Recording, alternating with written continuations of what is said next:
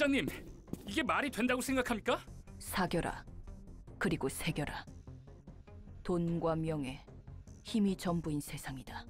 아무리 특색이라도 우리 소속도 아닌 해결사 한 명이 협회를 상대로 판을 짤 정도면 문제가 심각한 겁니다. 그것도 이렇게 노골적으로 그래서 협회에 등 돌리고 지부장 셀마랑 푸른 잔향까지 죽여서 자유를 쟁취하려고? 방법조차 보이지 않아. 심지어 웃는 얼굴들까지 관계가 있다는 말이 있어. 썩어 빠졌다. 부장님, 시의 도리와 정체성은 어디로 간 겁니까? 갈아엎고 싶다면 기다려라. 그리고 힘을 길러라. 지금 상태로는 그 무엇도 할 수 없으니까. 부장님 말이 맞아. 지금은 아무것도 할 수가 없어. 젠장, 우리가 지금 어떤 상태인지 뻔히 알면서 이런 일을 계속 떠넘기는 거 아닙니까? 부장님은 언젠가 시의 협회장이 될 거야. 그때가 오면 이 썩어 빠진 판도 뒤집을 수 있겠지. 우리 이과는 부여받은 일을 제대로 처리하면 그만이다.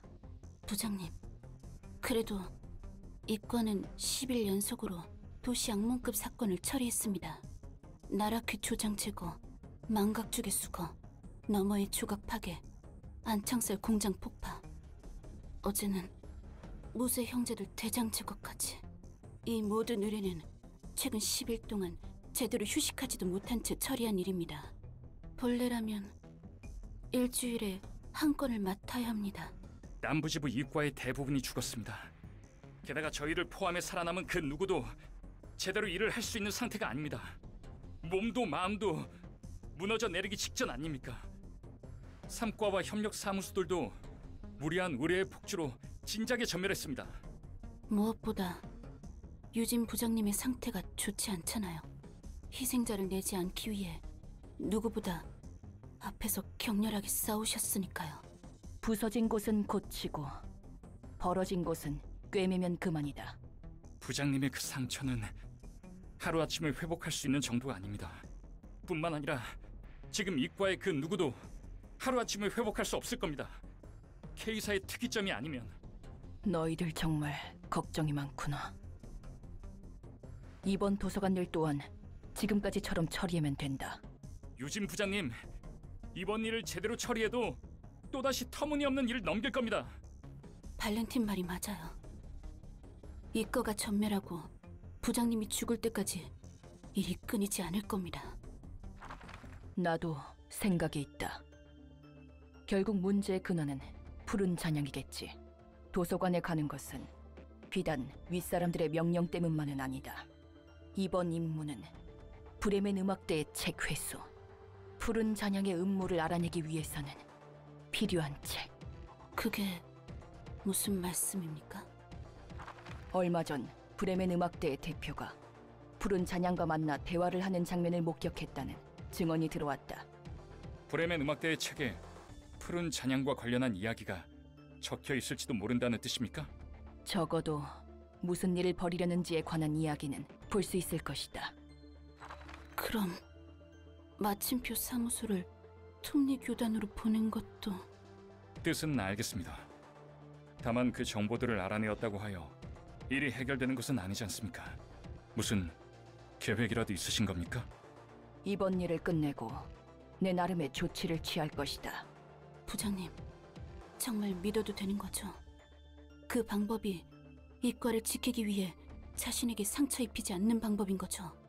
부장님의 해결 방식은 지금까지 그래왔으니까 믿어라. 나도 내 목숨 귀한 줄 아니까. 결국 살아남아야만 바꿀 수 있다.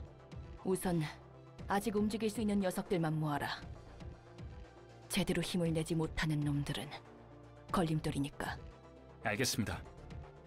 저 우직한 성격은 여전하네. 너 정말 별 볼 일 없는 해결사 맞아? 이쯤 되면 그저 그런 해결사의 인맥이 아니라는 건 나도 알겠어. 질문에 대한 대답부터 하자면 구급 해결사 맞아. 다만 이런저런 사정이 있어서 밑바닥으로 떨어진 거지. 그냥 흔한 해결사였어. 그래? 그럼 무슨 등급이었는데? 무려 잘 나가던 1급 해결사 라고 말하면 믿을 수 있겠어? 솔직히 쉽게 믿어지진 않지만 네가 그렇다면 그런 거겠지. 순순히 믿어주니까 의외인데 난 그냥 정보를 모으고 수집하는 평범한 해결사였어 그래서 발이 넓을 뿐이지 지금 이렇게 싸울 수 있는 건 네가 준 몸과 도서관의 힘 덕분이고 이런 일은 신뢰가 중요하다며 저렇게 아는 사이인 사람이 죽어도 괜찮은 거야? 확실히 저 상황은 안타깝지 그런데 말이야 우리가 본 건 저 친구들의 입장일 뿐이야 저 녀석들도 살고자 발버둥 치거나 바꾸고자 투쟁한 누군가를 안 죽였을 것 같아? 죽였겠지. 그런 거야. 저 녀석들에게 죽은 누군가도 똑같이 안타까운 사정이 있었을 거라고. 뭐 아닐 수도 있지만 어쨌든 모두가 행복할 수 있는 길은 없어. 관점의 차이만 있을 뿐. 그래서 서로 깊이 알고자 하지도 않고 맡은 일을 처리할 뿐이라는 거네. 음, 모두에게 나름의 이야기가 있으니까. 하지만 누군가의 이야기 때문에 내 이야기를 포기할 수 없는 거야, 우리처럼. 그건 그거고, 이건 이거니까. 할 수 있는 응급처치는 다 했습니다. 부장님, 지금은 이 일에만 집중해라. 할 수 있는 일부터 처리한다. 환영합니다, 손님. 반갑다. 나는 시이과 부장인 유진이다. 다들 인사해라. 네? 하지만 인사를 받았으면 답을 해줘야 하는 것 아닌가. 네, 저는 시이과 직속 해결사 텐마입니다. 시이과 직속 해결사 발렌틴입니다. 저는 도서관의 관장이자 사서인 엔젤라입니다. 이곳에 있다는 책을 구하기 위해 초대장을 통해서 왔다. 네. 부디 손님의 책을 찾으실 수 있기를.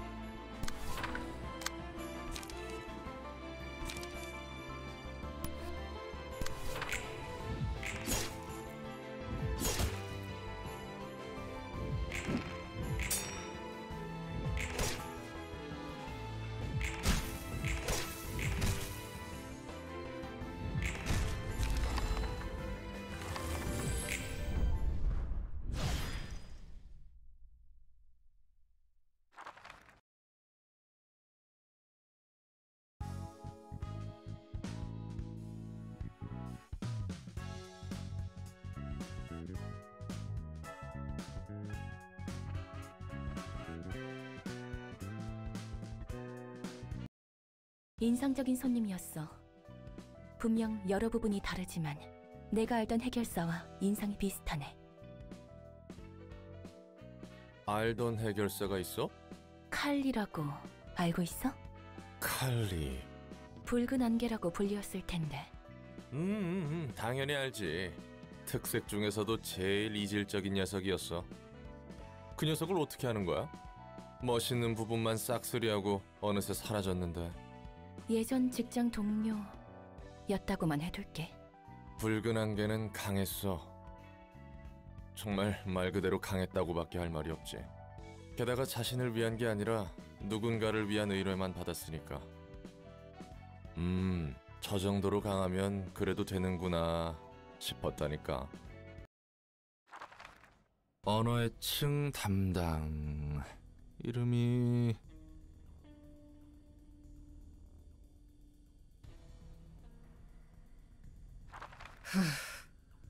개브라야? 어우 담배 냄새. 아니 내짜 아는 술을 퍼먹더니 넌 담배를 뻑뻑 피는구만. 걱정 없이 담배 피울 수 있는 이 몸일 때 실컷 펴둬야지. 넌 엔젤라를 돕고 있는 롤랑이겠군. 맞아. 방금 잠에서 깨어났을 텐데 잘하네. 이걸 잤다고 해야 하나?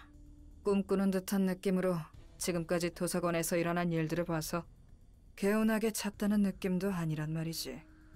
상황은 대략 다 안다는 뜻이구만. 너 해결사라며? 맞아. 구급 해결사지만 구라치지 마. 무슨 속셈이야? 엔젤라야 순진하게 속아 넘어갔겠지만 난 아니거든. 뭔 소리래? 우리 서로 구면인가? 나도 첫 번째 삶에서는 나름 해결사 일을 해서 말이야. 대충 보면 견적을 낼 수 있거든. 넌 적어도 얼타는 구급 해결사는 아니야. 사고 쳐서 강등이라도 된 건가? 밖에서 이런저런 사정이 있어서 말이야. 구급 해결사라는 건 거짓말이 아니야. 무슨 꿍꿍이인지는 모르겠지만 내가 있는 이상 허튼 짓은 안 하는 게 좋을 거야. 거참 잘나셨네. 애초에 허튼 짓 할 생각도 없었거든. 거하게 사고 한 번 친 몸일 텐데 예의 주시해야지. 입만 산 사기꾼일 수도 있고. 이만 말 줄이자고. 네가 나에게 책을 주면 난 언어에 대해서 추려낼 테니. 야, 네가 그렇게 잘났냐? 너몇 급이었는데? 붉은 안개. 붉은 안개라고? 이런 미친.